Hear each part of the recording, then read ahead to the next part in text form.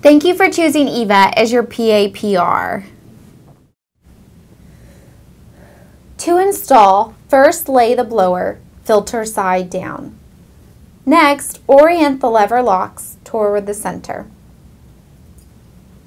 Next, lay the belt over the lever locks. Finally, rotate the lever locks until secure.